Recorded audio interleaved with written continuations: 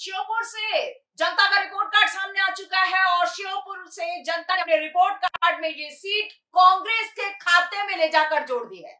श्योपुर से जनता ने अपने रिपोर्ट कार्ड में कांग्रेस के बाबू जंदेल को पास कर दिया है। वहीं दुर्गा लाल विजय को जनता ने अपने रिपोर्ट कार्ड में फेल कर दिया है। मैं आपको बता दूँ कि बाबू जंदेल तिरपन वोटों से जीत दर्ज करा चुके हैं पास हो गए।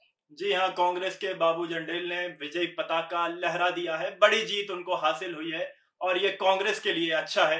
मध्य प्रदेश में सरकार भाजपा की बनने जा रही है पर कहीं कहीं से कांग्रेस के लिए भी जीत की खुशखबरी सामने आ रही हाँ है। कांग्रेस के खाते में कुछ ही सीटें जुड़ रही हैं जिसमें से एक सीट जो है वो श्योपुर से बाबू जंडेल की है जिन्होंने तिरपन हज़ार दो सौ इक्यानवे वोटों से अपनी जीत दर्ज कराई है। जनता के रिपोर्ट कार्ड के लिए हमारे साथ यूँ ही जुड़े रहिए।